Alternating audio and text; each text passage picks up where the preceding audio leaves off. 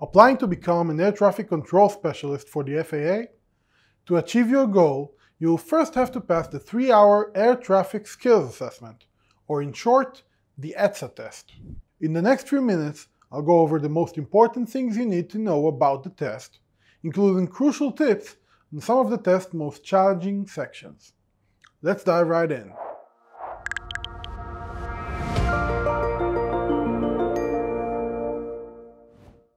The process of becoming an air traffic controller can be very long and may go on for a couple of years. It consists of several screening stages. USA Jobs application, the Air Traffic Skills Assessment, security clearance, background check, drug screening, physical exam, the MMPI test, and a medical examination. The most difficult part of this process is the ATSA test or ATSA test. If you fail this test, you will not move on to later stages. But passing it is not enough. You want to score high on the ATSA test as the competition is very high. Before we go into the ATSA 7 sections and show you some sample questions, here are 5 important facts about the test. The ATSA test is about 3 3.5 hours long the test itself is 2 hours and 49 minutes long, but you get 30 minutes of break time that you can divide into small breaks throughout the test. The ATSA test possible scores are Best Qualified, Well Qualified, Qualified, or Not Referred. You should aim to get Best Qualified to maximize your chances of getting a tentative offer letter moving you to later stages of the FAA hiring process. Your ATSA score is valid for three years, but if you feel you want to improve your score, you can reapply and retake the test whenever there's an open bid. You are not allowed pen and paper on the test. The ATSA test is comprised of seven separate sections and can be divided into two main categories, gamified sections and non-gamified sections. The Air Traffic Skills Assessment 7 sections or subtests are first memory game differences, second memory game variables, spatial or visual relationship, ATC radar simulation, logical reasoning word problems, a personality test, and reading comprehension. The first four sections are gamified, some more than others, while the last three subtests are not. After taking the first four sections, you will be asked to contact the test administrator to set up the last three sections. Let's see some example and crucial tips for these sections, starting with the two memory games. Both memory sections test your ability to calculate basic math operations while memorizing numbers and variables. See for yourself how the first memory game works. This is taken from my ATSA test prep. In the beginning of the test, you are shown two numbers between 1 and 9, and you need to type in the difference between them. Sounds easy, right? Immediately after, you are shown a new number and again, you need to type the difference between the last two numbers shown. Can you recall the last number? Don't get confused with the number you typed in two seconds ago. This may sound easy, but doing this 8 times, each time for a few minutes, will result in mental fatigue. The second memory game is much more difficult and grows in difficulty as you progress between the Section 3 tests. The first test will show you three variables on the screen. Immediately after, you are asked what B is, what C is, and what A is. There are 10 questions like this one in the first test, and the variables can be mixed, not always in the easy order of A, B, C. In the second test, one of the variables is shown in an equation. For example, A equals B plus C. The third test is the hardest. Try it for yourself.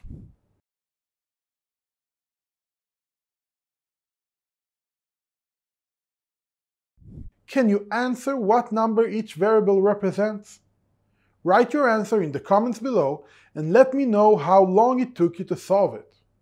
To make this test easier to solve, I highly recommend using a method and practicing it beforehand.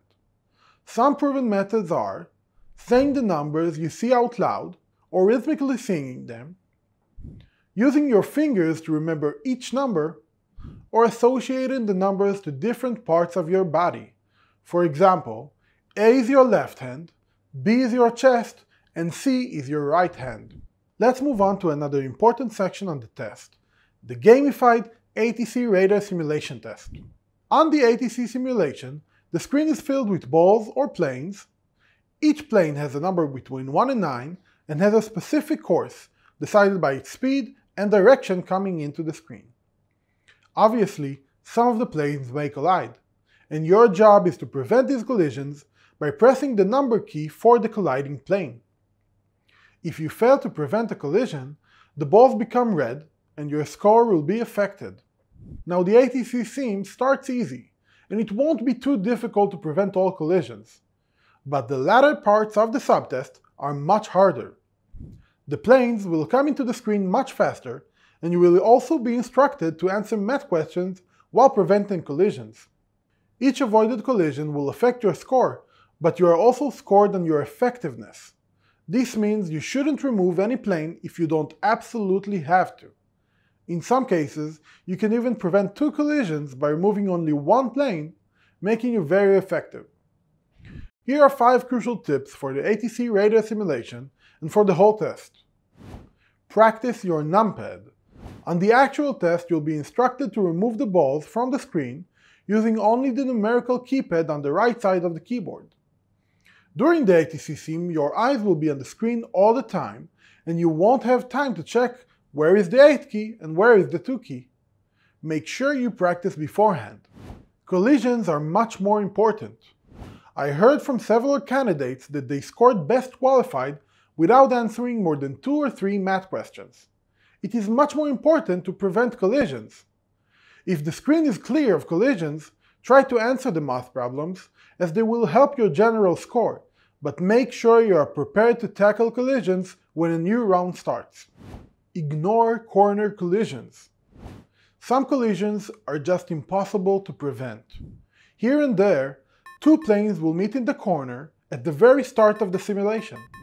With all the pressure of the test, these corner collisions can distract you and hurt your performance on the simulation.